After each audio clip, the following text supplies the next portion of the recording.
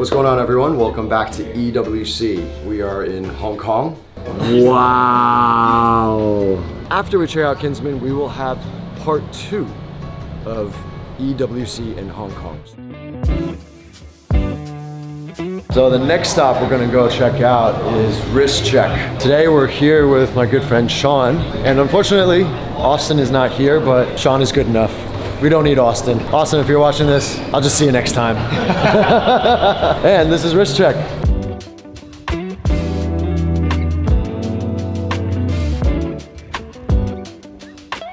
Uh, this is this is actually my first time in Wristcheck, so let's just kind of walk around and take a look, and then we can uh, kind of look into some special watches and uh, see what's up. Hey, what's up, man? How are you? Uh, very good, very good. The thing that we wanted to do at is sort of have a display wall that's a little bit interactive. Yeah. So you look at all the watches that we highlight, you're able to interact with them by uh, swiping, uh, just like you would do, sort of like an Ironman style. swiping the watches to look at them at different Oh, angles. so there's- it's That is really cool. Yeah, it's magic. And then uh, what's going on with this? I remember Austen and uh, Sean telling me about this. Yeah. Like you guys are starting to kind of like have all this data, all the prices of uh, the transactions. This is really what we're trying to change in the industry is really have the most accurate data points in terms of how much pieces sell on the website and then Yeah. we feed everything into our own Wristcheck index. Okay. And, And, and are these transaction prices only based off of the transactions from Wristcheck or also from other dealers as well? Wristcheck and all most of the popular platforms you can find on the market. Yeah, okay. Wow. This is a very, very Patek complication. 5170 chrono. Uh, it's got baguette barkers inside and Tiffany stamp. Platinum. You know it's platinum when it has a little diamond right in here. So sexy. It's expensive. And then this is the Singapore edition. That's a Singapore edition. Yeah, Singapore editions always use more red, huh? Oh wow! But I mean, like, look at that. Look at the dial. World Time Chrono. I mean, it's wrapped up, but it says Patek Philippe, Singapore 2019, 5930G, the white gold. Yeah, very special. Well, yeah, man, Kevin, thank you so much. No, my pleasure. Yeah, Thanks for stopping by appreciate Risk. Check. If you guys are in Hong Kong, please, please, please do check out Wristcheck. All right, now we're gonna go check out another watch shop. It's run by this guy named Ivan. Uh, he's not here today. He's not in Hong Kong, but we're gonna go check some stuff out. Great vintage people. Yeah, I am looking for a yellow gold four digit Daytona. Today we're gonna look at the 6265 black dial. So I'm using the loupe right now, looking at the dial, seeing if there's any marks or anything evident, but also the subdials, seeing if it's clean or if there's any small marks on it. Uh, I think with vintage Rolex, you're, you're very rarely going to find something that's 100% mint. As long as everything is period correct, and as long as you can accept these minor little little defects or whatever, um, if you can accept it, uh, I think it's very subjective. Everything is your own POV at the end of the day, you're, you're buying the dealer, right? You're buying the person that's selling this watch。那它的 lume plot 都是全都全都，我发现全都在，对，全都 OK。所以呢，它这个传奇呢是全都都在呢，对，比较比较少，对。Rolex reference numbers. Now it's you know like random numbers, right? So with uh, Rolex numbers. Uh, all the serial numbers are actually starting from, let's say, the first ever produced. Let's say this watch is in the six which was uh, I'm not going to tell you the full number, but 6.25. Okay, so we'll just say that the 6.25 million reference, which is the serial number. Therefore, you can actually go back and date check when it was produced from Rolex. And uh, they have a very handy card right here.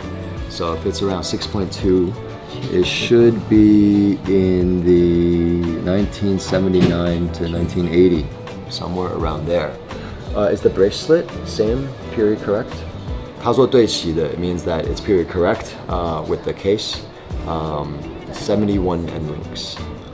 So he's winding it up and uh, we're gonna test out the chrono, see if it works. Alright. Moment of truth. Stopwatch time. Is it moving? Is it moving? Yeah, it's moving. And then look, the, the seconds hands swooping through. Let's stop it. It's working. sub dial's working, second hand's working, the stopwatch is working. And now we go dive with it. No, we don't. We don't scuba dive with these watches. We don't do that. This is your EMC shameless plug-in. We have the new EMC t-shirts and the new EMC trucker hat coming out very soon. Pre-order starts June 5th. Mark that down in your calendars. We have Taipei edition, Taichung edition. We also have other destinations, Hong Kong, Singapore, Malaysia, but that will depend on the quantity from the pre-orders. So go let us know where you're from. And don't forget, June 22nd, Taiwan Empire Aqua Beach Cleanup. is at Zhongjiao All the information will be below. If you want more information, you can go on Empire Aqua FB or IG. Summer's coming around the corner, and we have the EMC Summer Meetup. It's going to be cars, surfing, and barbecue. July 5th. See you guys soon. Peace. Back to your regular schedule programming. All right, next stop, we are going to see Johnson. What's up, bro? So Johnson has taken us to meet his partners, Anthony and Alfer Poon. Uh, we are at their office. Uh, they've taken the time to show us some really, really cool watches that I've never seen.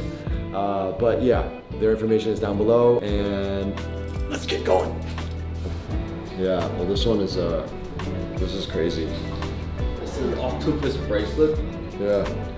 They were very rarely made in the 1980s. This is my first time seeing a uh, octopus bracelet. Wow. They made the bezel in a different uh, material, or with like a Yeah, white, in white gold. in white gold Yep. for the for the octopus. That's interesting. Jesus. So are these you part of your collections, or like you're Yes. selling some too? Um, part of them we, we sell them, but um, the one that you're holding right now with the white gold is the one that we, we kept for like probably the last eight years. Yeah. Yeah, the rarest one is actually the white gold one. Probably Yeah. never been seen in the in the market. Yeah. Uh, if people are into them. You know, you know that the white golds and the platinums are, are way more rare, which is really, really sexy. But I, I, I myself am into a little more yellow and, and rose. But yeah, this is still uh, fucking grails. Like holy grails, ultimate holy grail shit.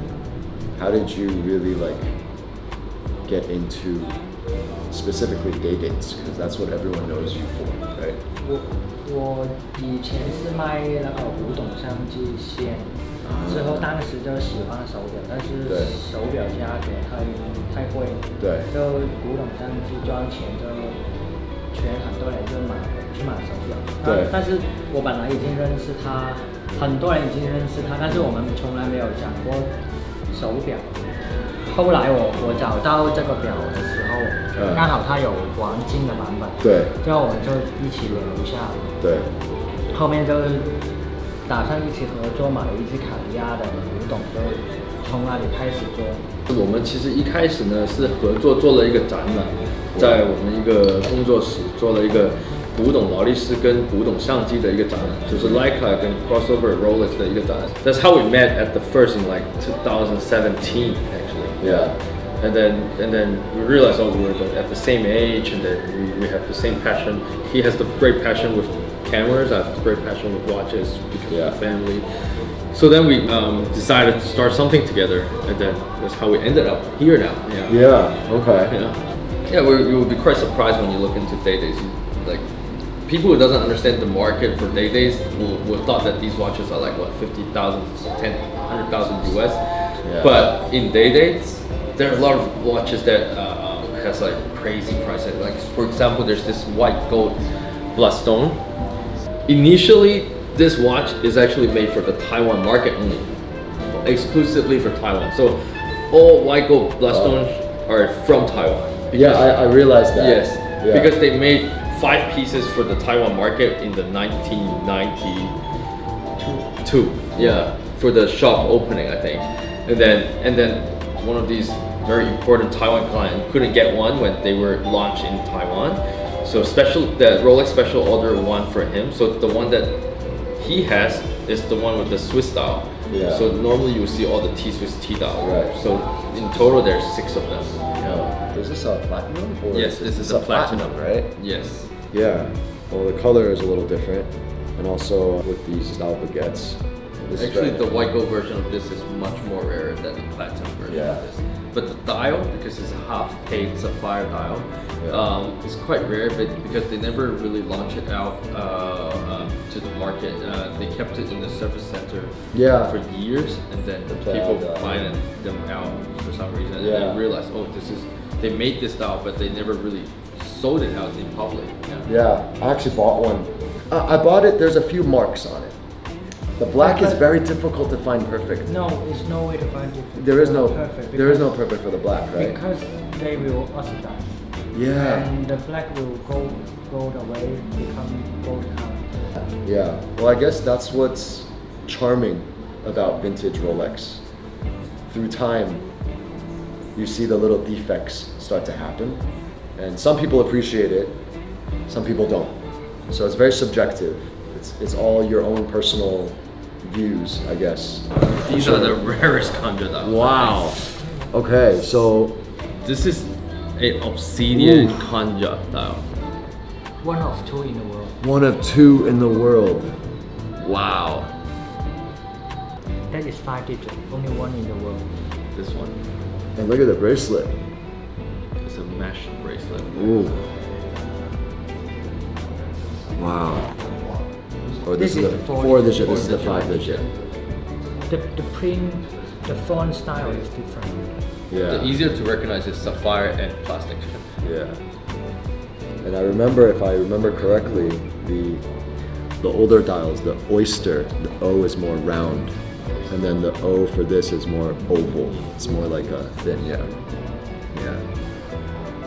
But holy shit. You know, I've seen so many grills right now. I'm a, I'm a little, uh, well, wow. it's like, oh shit, man. Like, yeah. it's like I don't know what to, I don't know what to look at. and then this is, uh, this is very rare too. This is a six digit, right? Okay, but it's got the emerald markers. Oh, this is a, yeah, this is the salmon dial. This is very nice. Besides their vintage Rolex collection, they do have a huge selection of other crazy, crazy rare watches um, from PPs. Uh, and wow, this one, what what is this? This is like a 5110 is a tourbillon um, 10 days uh, power reserve uh, Patek.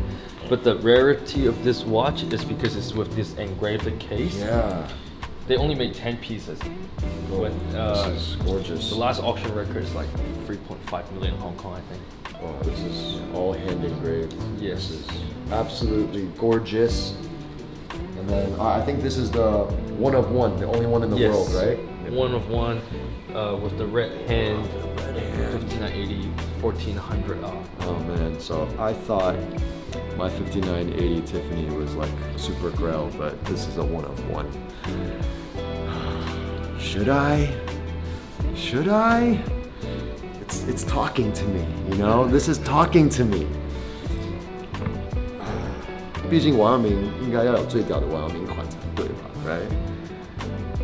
I mean, this is a one of one with the red hand.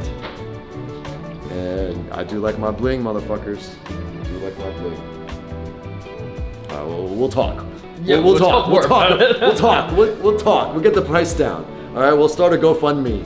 Everyone, please, 捐钱，捐钱，快点，捐钱过来，我这样可以买这只。Guys, if you're ever in Hong Kong, or if you're not in Hong Kong, and if you guys want to see some ultra really really sick watches. If you're interested, please go find these two gentlemen. Their IGs are below, their website is below. Yeah, I just wanted to say thank you again. The pleasure is ours. And I hope everyone that's watching, you know, continue watching. I mean, yeah, please let us know which one of these watches that you guys saw is and we can crown as the grail of the grails. Okay? Now we'll see you guys next time. So, thank you, boys. Thank you very much. 谢谢，谢谢，谢谢，谢谢。谢谢你。